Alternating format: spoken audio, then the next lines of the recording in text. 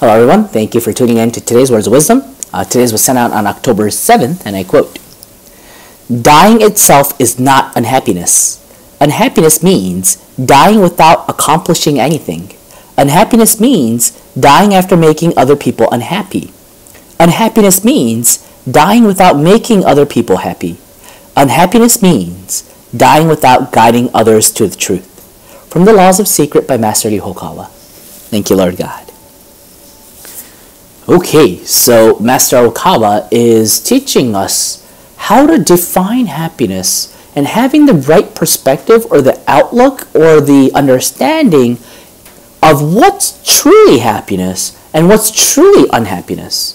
Because when I share the teachings of happy science, you know, when I'm doing missionary work and spreading this truth, uh, a lot of the people tell me, all right, so you say happy science, you teach people how to be happy.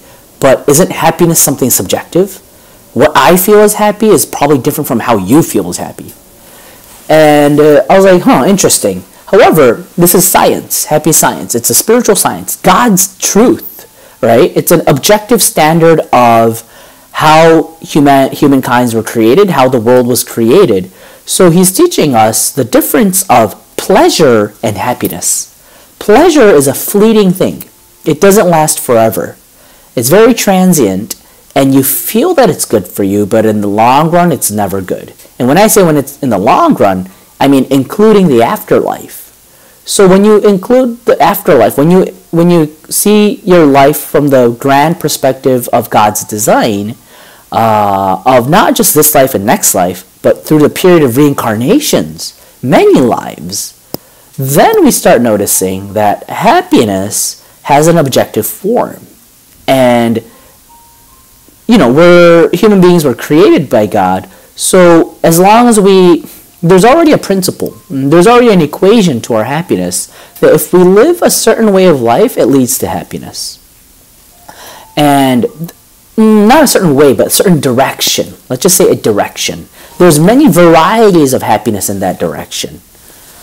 So, what's that direction? It's the happiness that leads from this life to the next. Going back to today's words of wisdom, dying itself is not unhappiness. That's huge. It's a very important words of wisdom that we need to live by. Um, you know, medical science has been improving quite quite uh, rapidly, and uh, medicines and uh, vaccines and shots and all of these like uh, efforts to maintain and sustain human life is progressing, which is a good thing. However, ultimately, we all die. It's impossible to make a human that never dies. And if that's the case, uh, medicine, medical science, is always going to lose in the end. And that's why religion becomes important. Uh, religion before death may be a philosophy, but religion after death is a reality.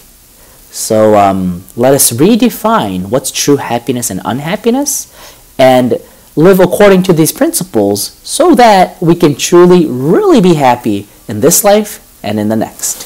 Thank you very much and see you again tomorrow. Bye bye.